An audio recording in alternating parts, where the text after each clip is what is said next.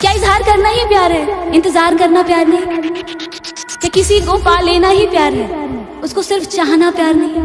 अगर उसकी सारी ख्वाहिशों को पूरा करना प्यार है तो उसकी खुशियों के लिए दुआएँ करना वो क्या?